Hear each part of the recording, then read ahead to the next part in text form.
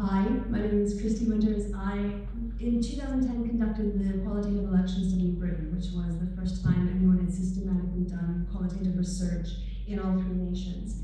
And uh, that's where I met Edzia, and we started to work together, and then we put together this collaboration to do uh, a qualitative election study for 2015. But because we had this tradition, we applied for money to study the referendum. Unfortunately, we could only do it after all of the events because that's when the funding came up. But we wanted to still record for posterity this very important event. And that was what was our motivation for the focus groups. So, from our side of it, you know, um, the, we had some great quant quantitative. You, you, look at numbers, you look at survey results, and this is all very important for us to have a good idea of what is happening. But our research agenda involves the idea that instead of researchers setting questions, we should be listening to people. So that's what our approach is, is that we ask people questions and then we listen. And what we wanted to focus on in this research was the notion of identity and the way that being Scottish and British was balanced people's opinion on the future of Scotland post-referendum, and on the polity of, Scotland and the UK. And with this opportunity, it would also give people a chance to look at the campaign itself in retrospect, give their memories of it, give their impressions, and uh, again, our attempt is not only to understand this referendum for today, but to document this process. So we're going to deposit our data in the UK Data Archive future generations will be able to go back and look at this information. What were people thinking about during the Scottish referendum? What was important to them? So just to summarize the things that drove us, we wanted to know about people's views of independence before the vote, the issues or events that they recalled as standing out and being important, helping them making up their minds. What were the considerations that they had when they were going through the decision-making process? What was their experience of the actual vote itself? Their reactions to the results, and what those results they feel meant for them and meant for the future of Scotland. And in terms of why this study matters, this was an historic event, and that was why we were so keen to get out there and talk to ordinary people so that it's not just newspapers that you have to rely on in, in the future. You can actually find the views of real people. We wanted to record those for posterity and also understand them and to find out if there's more common ground with which to have a conversation as we move forward. So we're not going to focus only on things that divided people, but it's been very much part of our research agenda here to also see what things were common to both groups, the common aims, the common values, and the common commitments. In order to recruit participants, just so that you know, we were really interested in Dundee. So the funding that we received from the Carnegie Foundation was about public engagement. And we thought that given that Dundee was one of the places that had the highest yes uh, responses, that it made a lot of sense. People in the community would want to get some reflection back and hear what people in their community had said about this experience. And so we focused it here in the Dundee area. Um, we wanted a good range of people so that we had a lot of different experiences, a lot of different backgrounds, a lot of different um, perspectives. We used the university website because obviously that's free to us and available and cheap. But we also uh, wanted to look outside so that we could get older people, middle-aged people like me, and younger people, men and women, people from all different political backgrounds. So we used Facebook, Twitter, social media, and Edzia was on the radio, and that actually was great because we got a lot of people who signed up for the groups once they heard about the study, because that was the other thing. Our participants who came were amazing. And yes, we did give them a financial incentive, but I think all of them would have stayed longer than 90 minutes and kept talking if we would have wanted them. And uh, it's been really fantastic. They were so open and, and giving with their experiences and their opinions. So we held it on campus on a weekend in order to make it more accessible for full-time workers and people with kids. We had five focus groups that ran 90 minutes each. And we had a separate group because we wanted people to, in the group to feel safe saying things. Um, so we had yes voters in one group, no voters in another group, and then we had yes campaigners and no campaigners because we felt that um, that would allow for more sympathetic or empathetic exchanges between the members of the focus groups. And in terms of what we found out, for today's talk, we're going to break it up into basically three little parts. Edzia is going to talk about similarities and differences of people that were in our groups here in Dundee, the division that we found between the head and the heart, and now I'm going to come back on the last bit and talk about winning and losing. In other words, the day of the election and how do people react to the results. So, what really uh, made us sit up and pay attention was the similarities that we found between the yes and the no voters, and we didn't expect that because there was so much about divisiveness and how the campaign and the referendum divided people. Um, and therefore, when we found the similarities, we found um, we were really, really surprised um, and pleasantly surprised, I should say. So the yes and the no voters in our focus groups expressed these views. Um, it was not just another election for both sets of voters. Um, there was an element of self-education, and I will explain what that is. Um, they were impacted through their interactions with other people, um, and there were feelings of hurt and betrayal on both sides. Um, there were differences in the details, so their perceptions of the campaigns and their perceptions of the other voters. Let's look at the similarities. So in terms of it not being just another election, almost everybody that we spoke to in the focus groups were very aware of how important this referendum was for them. They felt that uh, the question of the referendum was a final question. It was not another election in, in, the sense that they can't come back to this question five years later. If there was a finality to the vote that they would give. Uh, there were no conventions or platforms. So they felt that they, it was their responsibility to find out more they felt very much responsible about their vote. Um, and they felt that they were forced pick a side. It was a yes or a no. There was nothing in between. Whereas when you vote for an election, we were told you had a choice. You could pick and choose between different parties. This was a very clear choice for them. There was nothing in the middle, no gray area. And therefore, they felt that they had to educate themselves. So both yes and no voters that spoke to us reported that they were searching for facts they were searching for information.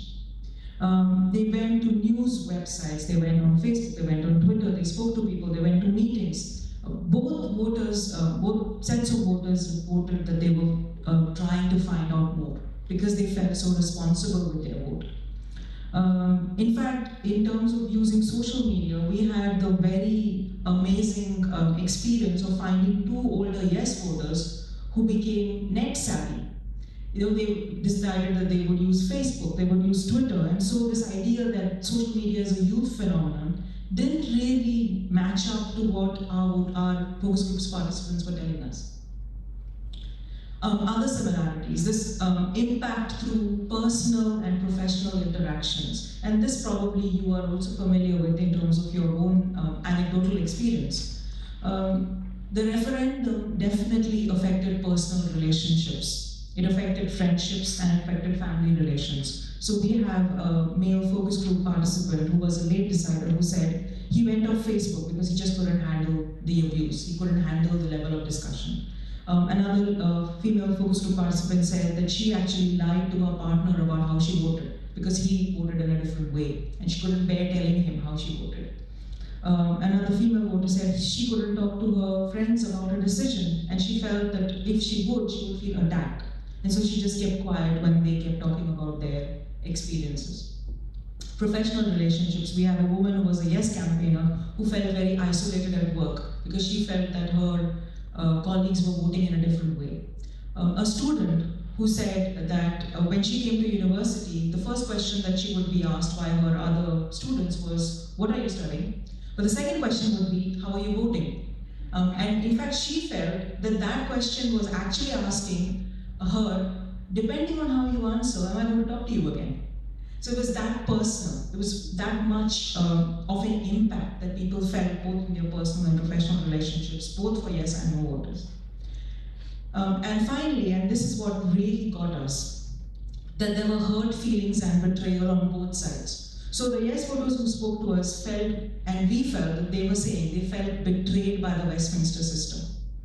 Right? This idea of media bias, uh, we have a male voter who said, I keep coming back to the power of the BBC, and they really swung it for the campaign. It was heartening that there was no control over social media, so I could find out facts for myself. about what independence would mean for Scotland. Um, the UK uh, Parliament, uh, it was felt by our, vote, uh, by our uh, participants that they were spreading lies about the future of Scotland, what, what that would mean uh, if Scotland got independence. And so we have a female voter saying uh, about Ed Miliband's interaction with some uh, women in Glasgow. This was her uh, response to his interaction. Uh, they, which is the women in Glasgow, are asking valid questions. Answer them.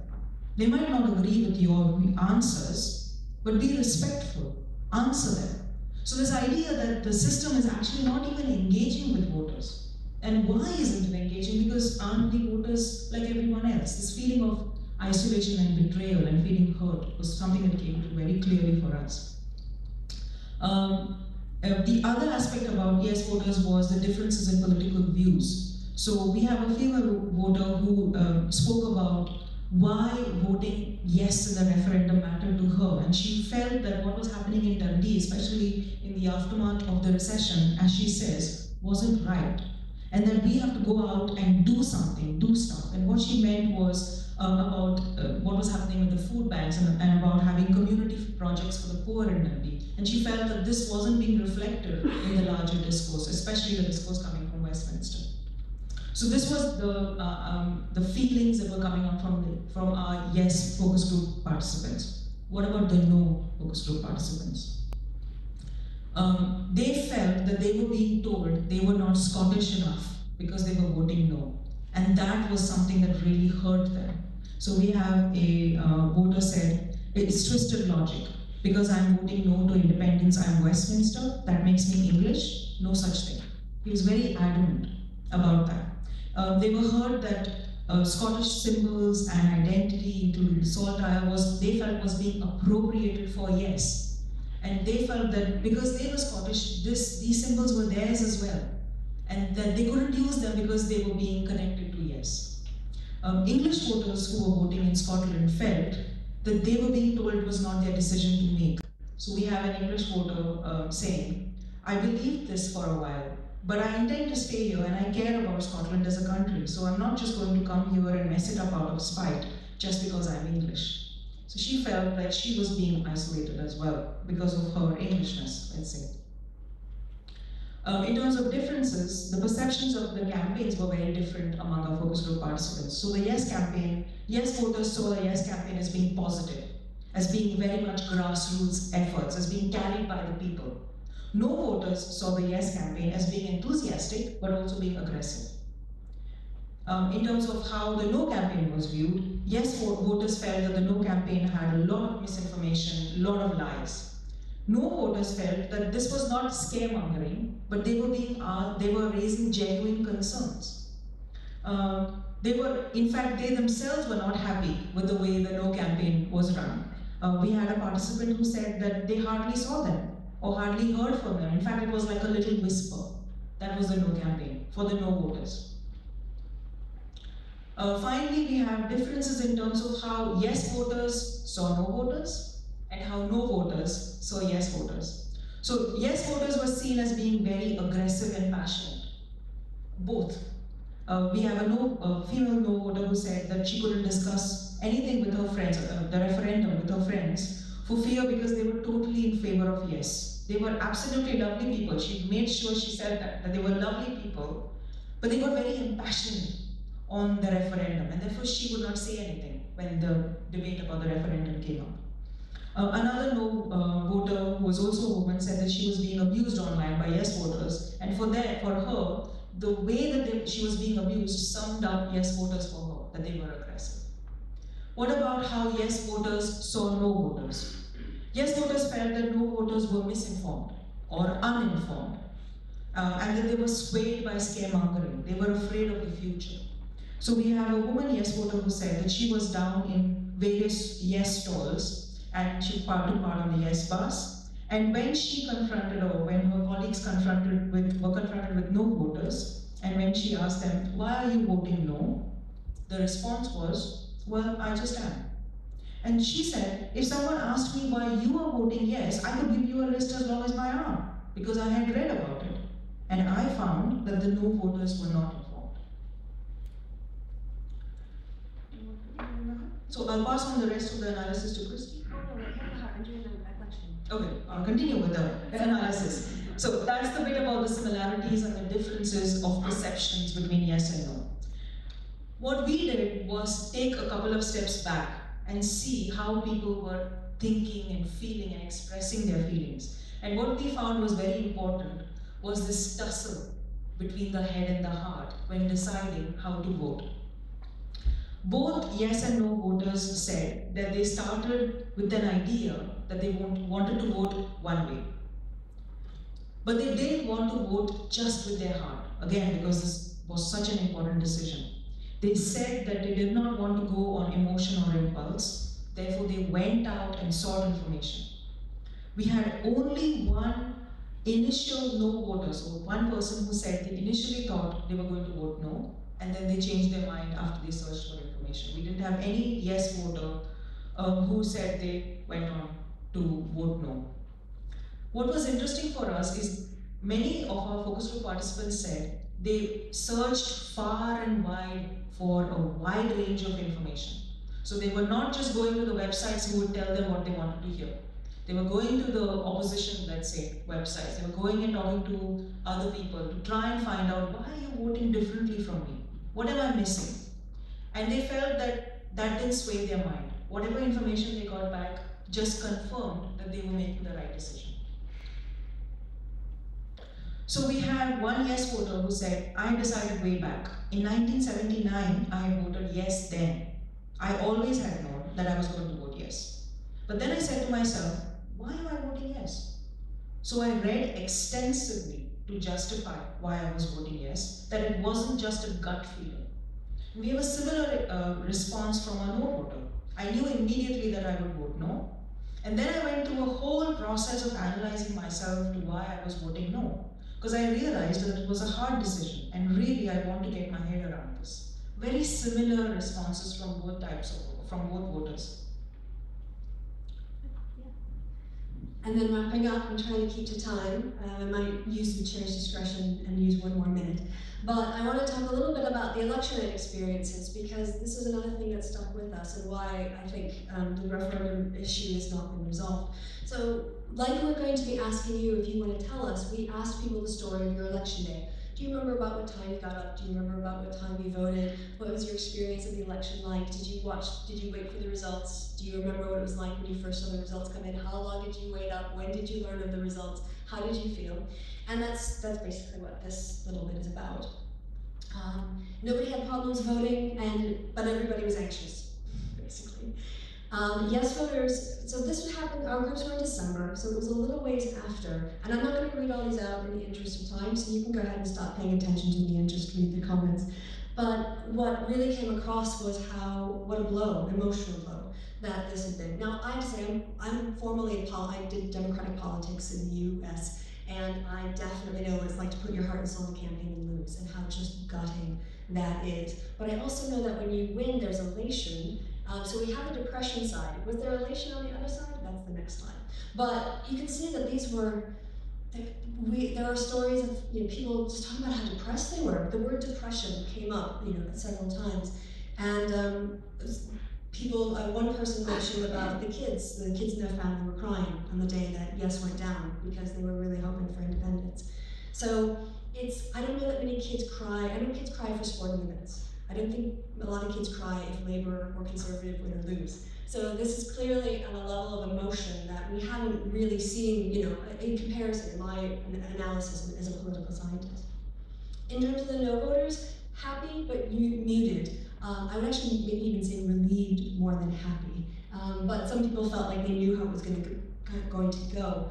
And similar, it wasn't there wasn't that sort of huge elation. One person who was quite intense said that she was so close initially and she felt sick, but that she got up the next day and saw that it went by and it was like Christmas morning for her. But she was the most enthusiastic of, of all our participants.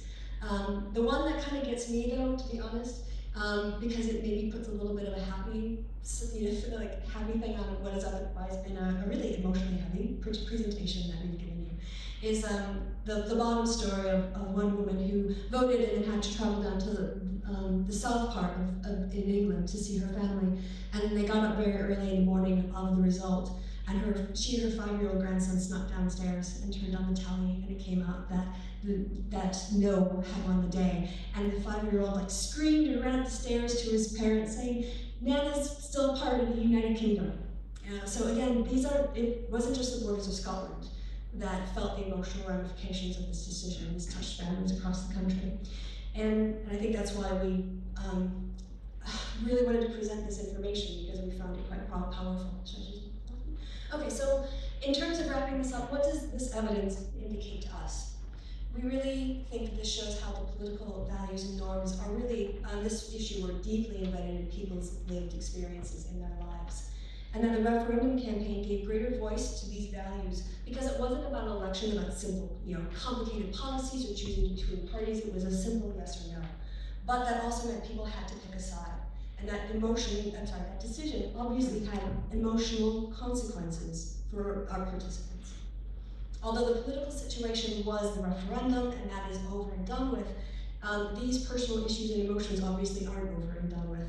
And our view, the reason why this issue hasn't been meaningfully resolved is because it's those deeper issues that are still un, um, unaddressed. And then on this basis, we conclude that both yes and no voters expected another referendum at some point in the future. And when we asked in all of our groups, basically, we said, do you think there's going to be another referendum? And one person said no, but it didn't matter if it was yes or no or activists. Everyone thought this issue is not over. And I think it's not, I think my, my personal saying is, is not because the legal issues aren't over, it's because the interpersonal issues aren't resolved.